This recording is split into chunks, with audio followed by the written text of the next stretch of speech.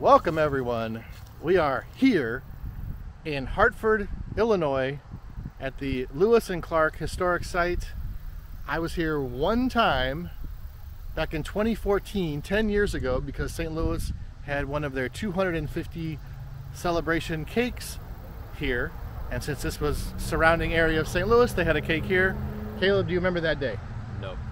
We don't have much footage, but I do remember coming and getting a picture of the cake. So we're back again. Come join us. Woo.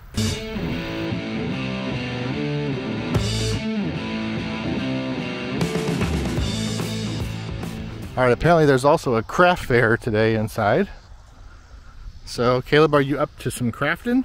Um, Some craft supplies? Hopefully this craft fair isn't witchcraft. It is Halloween season. It was Caleb all along. All right, here's the Lewis and Clark expedition sign. Does it say where we are right here? I guess we're somewhere here. Is this where we are? I don't know. Camp River, is it Dubois or Dubois? December 12th, 1803 to May 14th, 1804. Okay. I, I can actually still see the cake inside the door, but there's people sitting in there, so we're going to have to wait till they leave. But this is where we got a picture of the cake. All right, I'm totally, I'm totally going to get, I don't know which is which, Lewis and Clark. That's Lewis, Clark. I'm totally buying these. Um, if Nicolas Cage was here, he'd probably want to get a hold of one of these scrolls because there's hidden messages on the back. But That's not the Declaration. it's not the Declaration of Independence, but it's close. So we're in the store here. It's very heavily uh, Lewis and Clark-ish. no kidding. Yeah.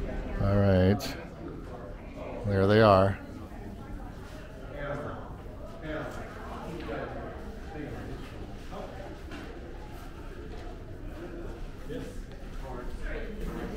All right, let's check this out. I don't remember coming in here before. I, I think it may have been closed.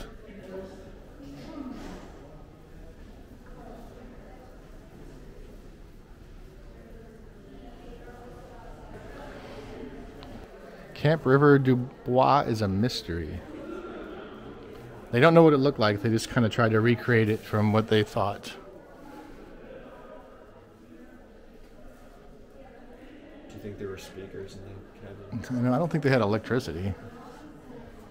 How to build a log cabin. That's a big saw. Here, Kayla, lift. What's that? Looks like an axe to me. A notching axe. Titanic was the ship of dreams.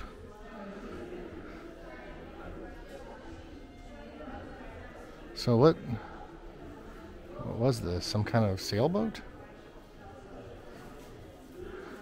Hmm. Look at this money.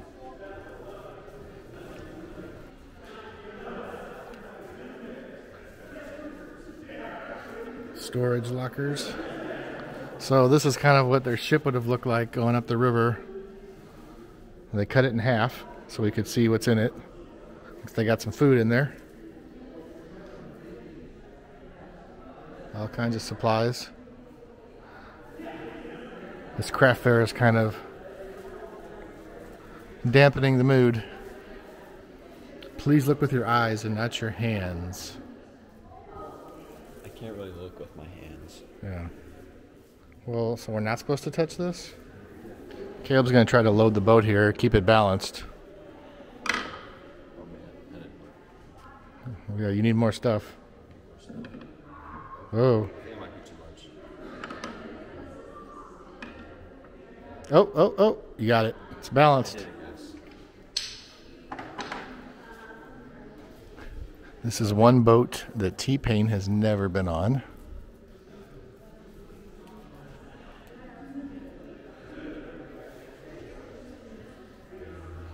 How did they propel the heavy keelboat up the Missouri? How they do it in shallow water. Lift, I want to know. Setters. Setters. Men push the boat forward using 18 foot long poles. That sounds horrible. Stupid craft there.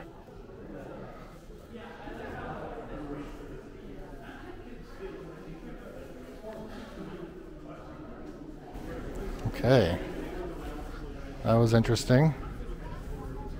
All right, this is exciting. The cake from 2014 is still here. It's in about the same spot I think it was 10 years ago. We're at the Lewis and Clark uh, site in Hartford, Illinois. You know, I can jump over this. Oh, yeah. Yeah. Gigi, Uncle Tim, Mama G is here. You can see me in the shadow or in the reflection. Picture. I love it.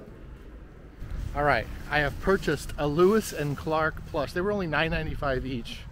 I've been looking for those things. The uh, the little interpretive center is really neat, but because that craft fair was going on, there's people all over. It was kind of awkward, so it kind of ruined the uh, the mojo in there. I don't want to see all their gobbledygook. I'm here to see Lewis and Clark. Yeah. But we're heading back here because I think there's some kind of log cabin recreation or something. I see I see something off in the distance. All right. Fixed on a place to build huts. All right. Let's walk back here.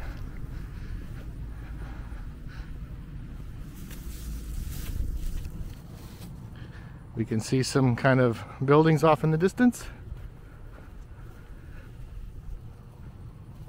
So this is where Lewis and Clark would have camped for a little bit, I believe, before setting off. Then they then they made their way over to St. Charles at some point. And we got grasshoppers everywhere. Caleb's looking inside. Can't go inside the structures. Just dirt, just dirt.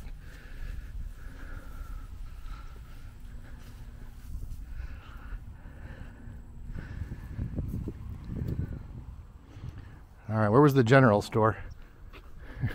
Here's a chimney. Oh, there's like a little window here. You see in here? I don't want to get. I don't know if there's like snakes around.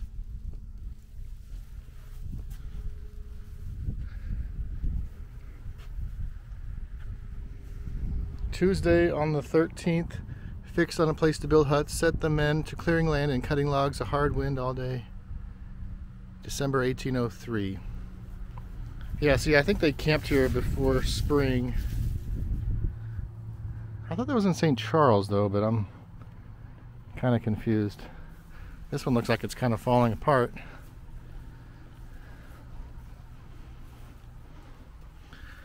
They had to have these these padlocks installed so like Indians wouldn't get in. I, don't think that's the right term. Oh, sorry, Native Americans. I'm sorry, Guardians. Uh, here's some more. Why are there so many grasshoppers? Yeah, the grasshoppers are. This is this should be called instead of Camp River du Bois, Camp River du Grasshopper. Yeah, so they have some boarded windows. They might have been expecting a hurricane. Oh, here we go. Big chunk. A big chunk. Like they're just the shelf. I don't know. I see a shelf, but this place is very disheveled.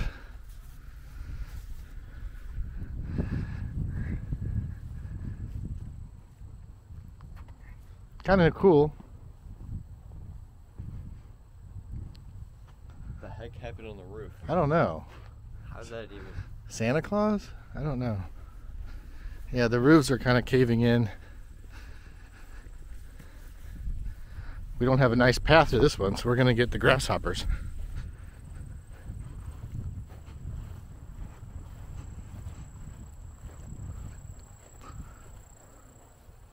Cloudy today, a woman come forward wishing to wash and dough such things as may be necessary for the detachment What is this written in like Shakespeare? What the hell is that? I ordered those men who had fought, got drunk, and neglected duty to go and build a hut for a woman who promises to wash and sew. Okay, I, I can understand that phrase. Good old William Clark.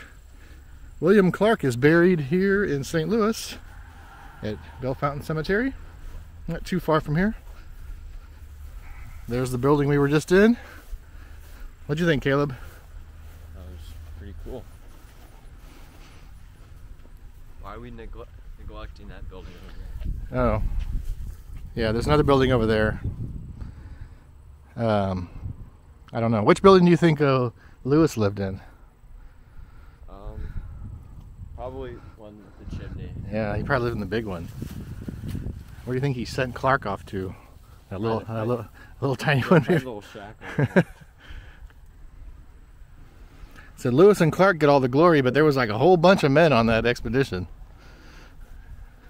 We don't ever hear about them. All right, I think it's time we have a little picnic. What do you think, Caleb? You hungry? yeah, I'm pretty hungry. We have purchased some Subway sandwiches, oh yeah. a luxury that was not available in 1803. But I bet Lewis and Clark wish they could have got some uh, uh, delicious club sandwiches and steak and cheese. yeah, that's what I. All right, before we get our sandwiches, I'm gonna put Lewis and Clark away in the car, and then we will feast. Dad, Dad, Dad, where are Yep. you walking to? I'm putting these in the car. That's not our car. Oh. All right, well that was interesting. What do you think, Caleb? Uh, I actually thought it was pretty interesting. Yeah, I've been wanting to come back here for quite a while. So, where should we go next? Any ideas, Meriwether? Okay, that sounds good. Until then, may the adventure continue. Like, subscribe, blah blah blah.